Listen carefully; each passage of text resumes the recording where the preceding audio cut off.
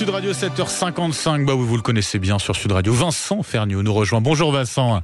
Bonjour Benjamin. Et bienvenue sur Sud Radio. Vous êtes chez vous, bien sûr.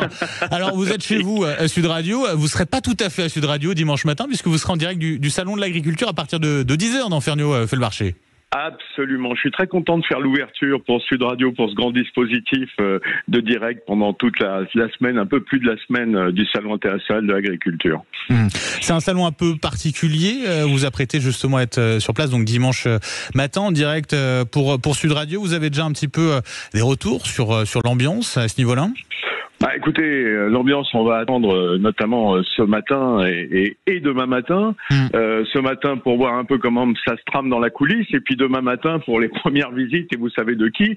Euh, donc, hmm. non, aujourd'hui, ce qu'on peut dire, c'est que évidemment, tout le monde le sait bien, les agriculteurs, les paysans, ils n'ont pas été à la fête hein, cette année. ils l'ont manifesté, ils sont venus le dire autour des villes et autour de Paris. Mais le salon de l'agriculture, c'est une fête chaque année, c'est la fête de l'agriculture. une vitrine. Et on, Hein, comment? Et une vitrine, je disais, oui, effectivement. Ah bah mm. évidemment, mm. ils montent euh, à Paris euh, pour montrer le, meilleur de ce qu'ils savent faire, euh, avec avec foi, avec envie chaque année. Alors évidemment, la fête est un petit peu gâchée cette année parce que ce qu'ils attendaient, bah, je pense qu'ils n'ont pas été contentés à la hauteur de ce qu'ils espéraient, nos, nos, paysans. Mais bon, on, on, souhaite quand même que tout cela se termine bien parce que c'est un formidable porte-voix pour eux, évidemment. Mm. 10h, 11h, dimanche matin, Ferniaud fait le marché. Vincent, est-ce que vous avez un petit peu le, programme? Vous pouvez nous l'annoncer, peut-être, euh, ce qui est prévu pendant, pendant cette heure au Salon de l'Agriculture avec vous?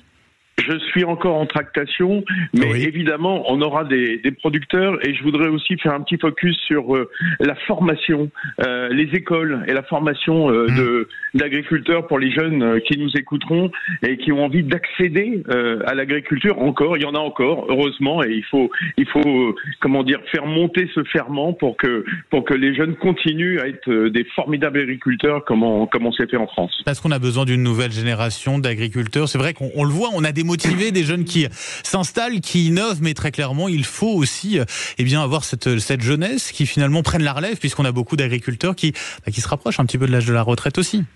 Absolument. Et puis il y a évidemment un problème de transmission, que ce soit la transmission directe à ses descendants, euh, ce qui n'est déjà pas simple quand on a plusieurs enfants et qu'il faut couper les parcelles, hein, c'est pour faire simple. Euh, et puis quand on n'a pas d'enfants et qu'il faut transmettre à, à, des gens venus parfois d'horizons extrêmement divers, eh ben il faut euh, il faut mettre un petit coup de projecteur sur les, les avantages de l'agriculture et pas entendre comme on le fait tout le temps le je dirais le, le, le côté néfaste, le côté difficile, le côté euh, euh, perturbé de cette agriculture française. Ça reste un magnifique métier et personne n'est plus au contact de notre, de nos territoires, de leur terroir, des paysages et de la nature que les paysans en France et ailleurs. Hmm.